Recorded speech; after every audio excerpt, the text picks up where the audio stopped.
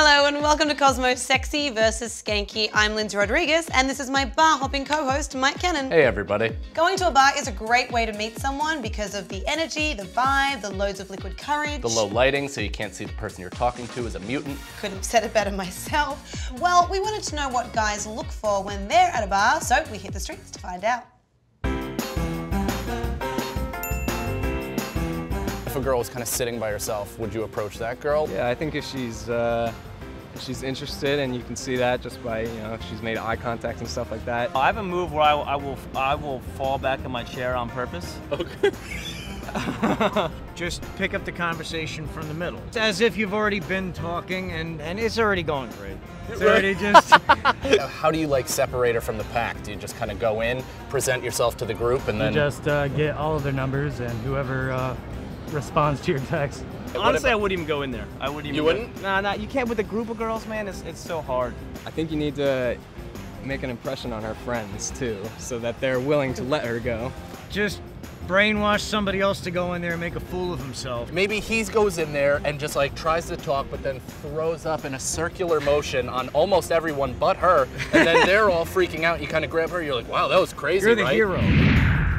What is the best way to attract that guy across the bar? Well, here to give us some tips is someone who's obviously crazy because she's best friends with Mike Cannon. she's a former bartender and a very hot comic. Her name is Jessimae and she's here. Hi. Hey. Now, first of all, you got to tell me how on earth did you end up getting involved with this clown? It's just the industry. You attract other slobs. That's what happens. He's a fellow slob. And exactly what's in our hands. Slob juice. Yeah. It's nice to meet you. Thanks Nice so meet you much for coming on, Mike. Cheers. Cheers. Cheers from a distance. Cheers from a distance. Should we get things started as per usual with a game of I Never? Yeah, sure. Um, I've never used a fake accent to pick up somebody at a bar. Does it count if you use the accent to get them away from you? Absolutely, okay. yeah. It's That's the why I same thing. drink. Okay. What accent did you use? Just my normal Syracuse accent. Oh, are you? You're in. An, oh, you're very interesting. You're in a financial business. Oh wow, yeah, that'll do it. Gone. Well, I'm assuming you must have seen it all in your years as a bartender. I want to know what like flirtation moves and body language tips have you seen that have just gone really well, and what has flopped worse than Waterworld? I think what flops worse is like when women come to the bar and they have like a notepad and homework, and they're just kind of like I've seen girls huddled, like that. Really? kind of You know who be does that? Bloggers. And I'm like, do you understand you've just made yourself 100% unapproachable? unapproachable. Like I feel like if you're trying to meet a dude, you can't have too many like dis, you know things that are gonna distract you, and you shouldn't be like. you shouldn't have like a like a, sour like a sour like mug like eh, I hate life. Yeah, have an inviting, soft face. Yeah, and open your How would shoulders. that look? Can tell? Yeah, soft. Can we try that? Like that's what you should look like at the bar. That's how you're gonna get a husband. the best thing I've ever Yeah. heard. Eye contact is important. Yeah. Dudes love women's eyes just as much as they love other parts. Other parts of women. Eye contact, I think, is like the most important thing. If you see a dude that you're interested in, bam, zinger, toss him the ball. Look that in. Your See, eyeballs. that's very true because a guy typically has to make the first move or, or just will initiate conversation.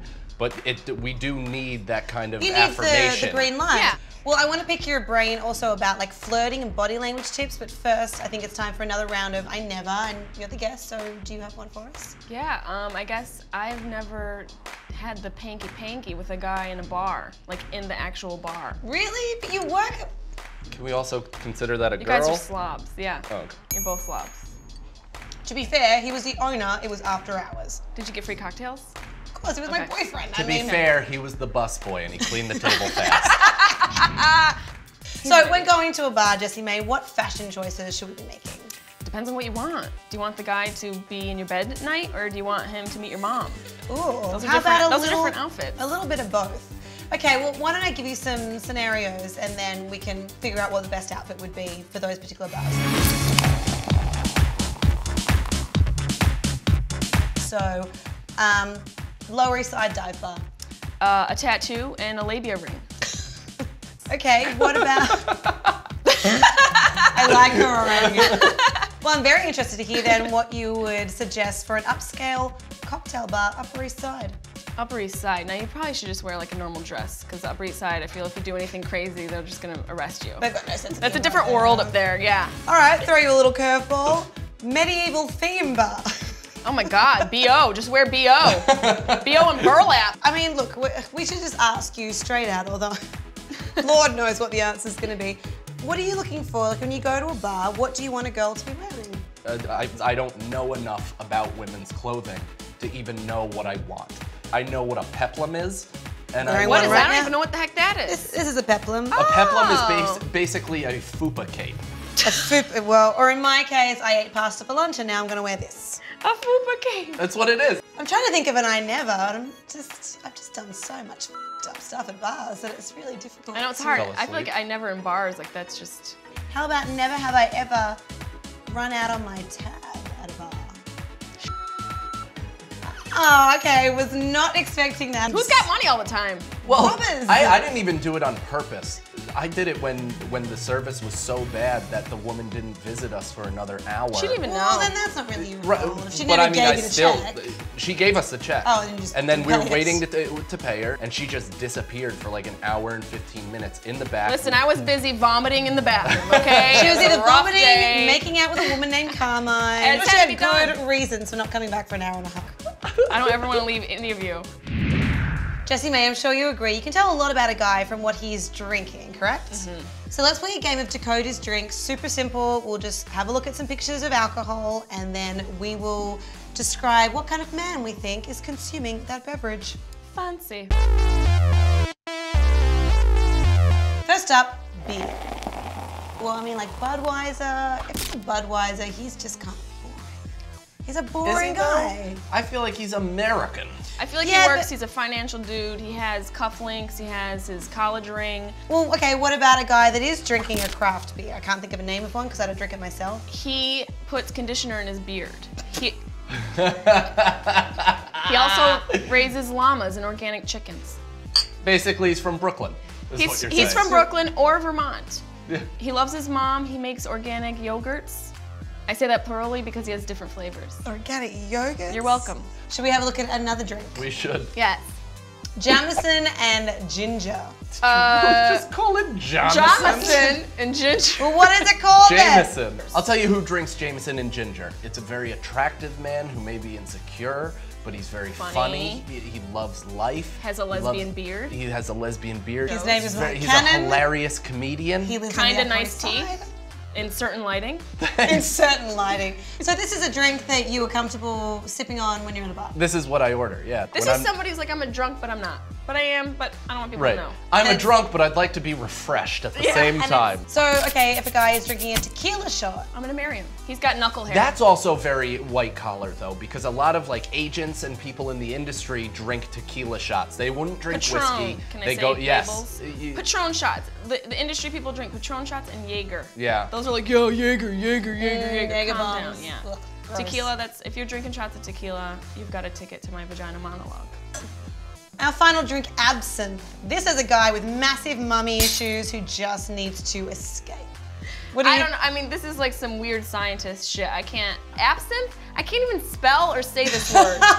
what are the cubes? What are the cubes? This shit looks. Ugh. To I try mean, and counteract the awful, awful taste. this is Dracula. This is a real thing. People drink this Whoa. shit. Yes, Turn of the drink century. this stuff. First of all, when the New York Giants won their second Super Bowl uh, against the Patriots, I have a bottle of absinthe, and instead of preparing it like a human being should do, I opened the bottle, pounded it, took my shirt off, and ran around the block screaming about the Giants for the next 45 minutes. And you have the By biggest yourself. mummy issues of anyone I've ever met. So I Dad issues, all right? He's the one that left. Literally just proving the point. Exactly. On Amen. that note, one last round of never have I ever, never have I ever returned to the scene of a crime when I've been kicked out of a bar the night before.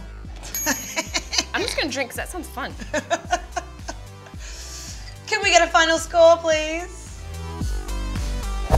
Well, you guys are both as inappropriate as each other, not surprising, because you tied.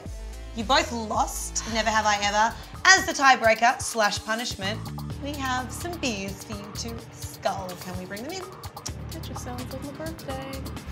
Okay, you've got your beers. We need to have a tiebreaker. Whoever finishes it last is the loser and a sissy. And go.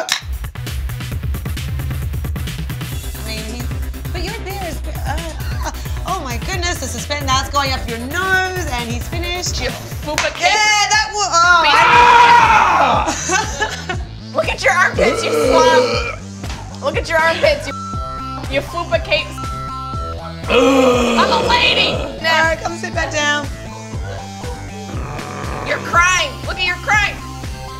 And he has, tears of victory. sorry to say, but Mike oh. did win that fair and Son of square. a, I'm a lady. May. I'm still a lady. Where's makeup?